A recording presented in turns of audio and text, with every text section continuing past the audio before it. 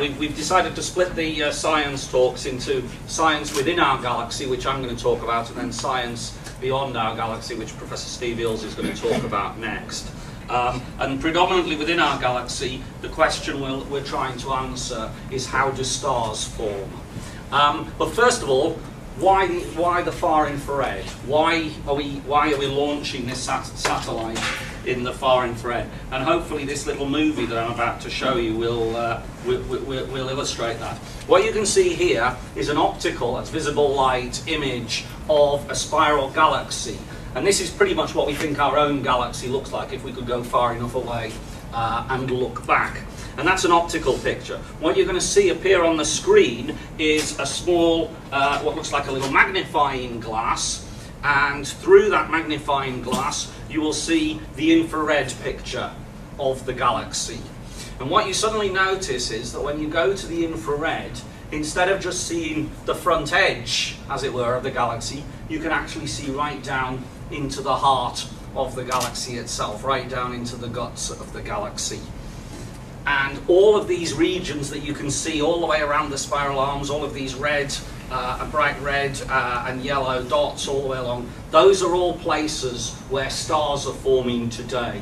Stars like the Sun, stars more massive than the Sun, um, they're all forming at this moment in time. Those are the regions we want to look at. Now, why can't we see them in the optical? The reason for that is, of course, space isn't completely empty. It's a pretty good vacuum, but it's not completely empty. The space between the stars contains a very tenuous material of gas and dust that we call the interstellar medium.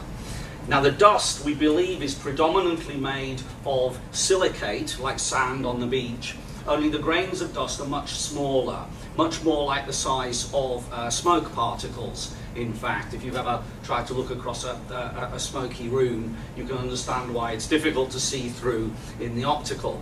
And for exactly the same reason as, as fire brigades use infrared cameras to locate uh, the heat coming from people who are trapped in uh, smoke-filled buildings, so we're using infrared cameras to detect uh, the stars that are forming behind these smoke-filled uh, galaxies. And I can show you uh, another, another view of this. This is a uh, hopefully familiar constellation of Orion with the three stars of Orion's belt. If you look up on any clear night if you're far enough away. Derek, it's not the time left for you. I'll speed up. No, it's, it's, the time left till the, till the, till the, till the live till the live feed comes through again. Right you go.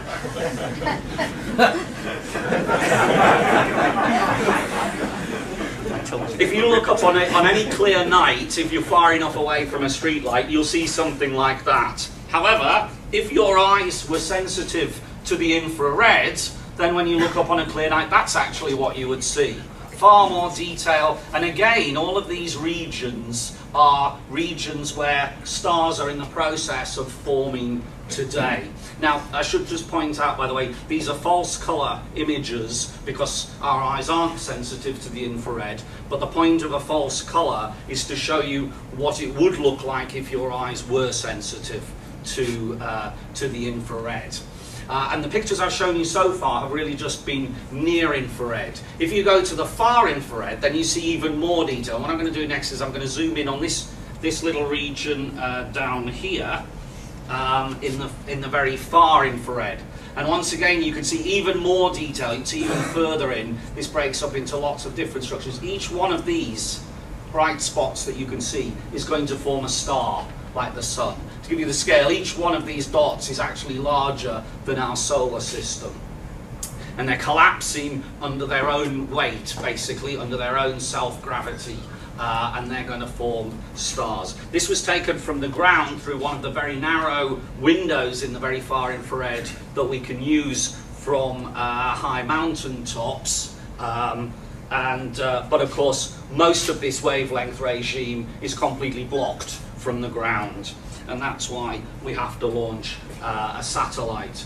So this is another infrared image now that I'm going to just sort of scroll along. This is again a near infrared image taken of the Milky Way galaxy, our own galaxy. And what you see as we move along, again, all these bright regions where you can see stars are forming. But notice there are also dark regions still. In the near infrared, you still can't see everything. There are still dense parts you can't see into as we scroll along the, along the plane of the Milky Way. And all of these regions that you see that are bright, those are the bits that look dark when you look up on a clear night at the Milky Way. We've just reached the galactic center here, the giant uh, region of activity right in the very center of our galaxy, and then it moves on past. This is the sort of project that we're going to be doing with the Herschel, only at much longer wavelength, at far infrared, to see even further in, even deeper into the densest regions. And the significance of that is that the, the darkest, densest regions are also the youngest. They're the, they're the ones where star formation is literally just about to start.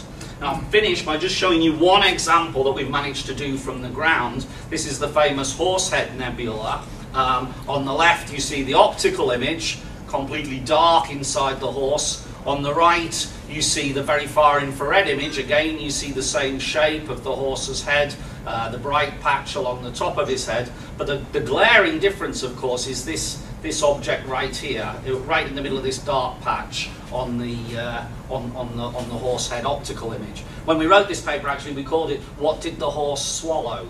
Because that's exactly what it looks like. It looks as if we've taken an x-ray of a horse's head and looked at what it had for lunch.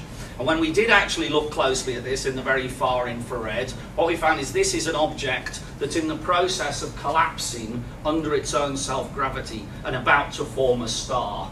And it's by studying objects like this that we actually will learn how stars like the Sun formed. Herschel will give us thousands of these uh, to study, and in, in so doing, hopefully, give us some understanding of what's going on. Uh, and I'll just leave the summary there for you to read for yourselves. Thank you.